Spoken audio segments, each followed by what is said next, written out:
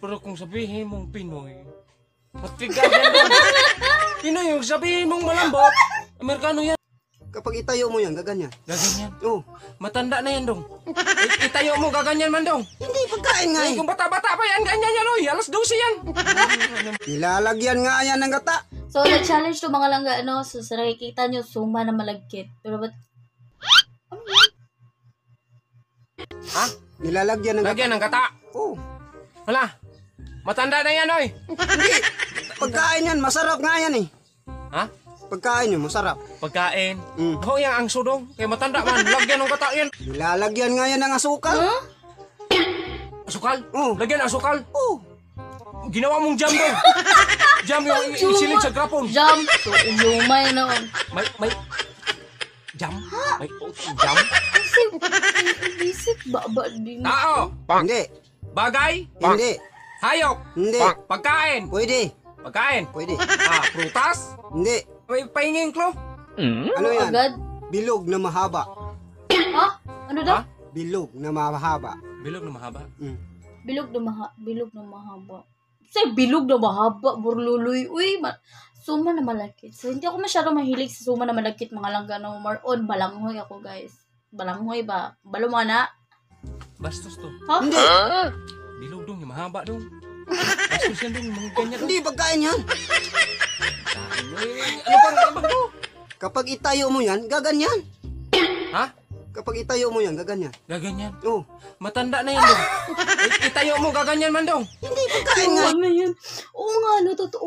Totoo yung sinabi ni, ano, ng burluloy, guys. Pag tinayo mo yung suma na yan, syempre, biglang, di ba? Ganun. Kasi nga, ano siya, hindi siya strong. Kung bata-bata pa yan, ganyan yan oy. Alas 12 yan. Ano mo nung pagkain? Pagkain yung bastos na yan? Takakain yun. Eh. Hindi. Unsay, May malambot nga yan. Aray ko. Tanto dong. Malambot. Oh, May malambot dong eh. May malambot. Magkano yan? hindi. Yang ano dong? Malambot. Amerikano yan.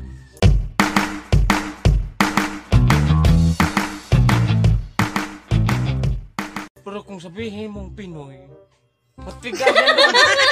Pinoy, yung sabihin mong malambot, Amerikano yan. Huwag mo kong ginagago eh. Ambil ng sundang be. Yan. malagkit man na suman. Pagbuka? Ah, Yan, basta pagkain yan eh. Hindi bastos ng bilog, mahaba, tapos may malambot, may matigas. Ma- Nilalagyan nga yan ng gata. ha? Nilalagyan ng gata. Lagyan ng kata. Oh, Hala. Matanda na yan, Ay, oy. oo, nilalagyan nga ng gata. pagkain yan, masarap nga yan eh. Ha? Pagkain yun, masarap. Pagkain. Mm. Ho, yan ang sudong. Kaya matanda man. Lagyan ng kata yan dong.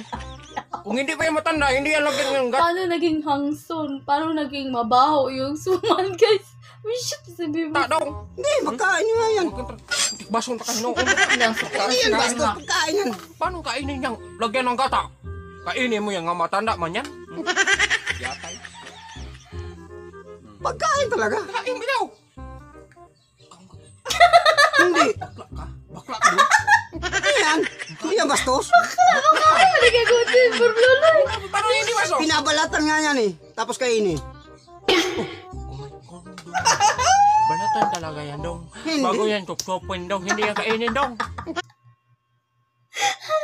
Subsubon na mga laga. Bisitag utok. Ay, grabe naman yung utak ni Bimax. Di suman man yan. Di man yan, ano. Ya. Hindi yan kainin. Kainin talaga yan. Maputol yan daw.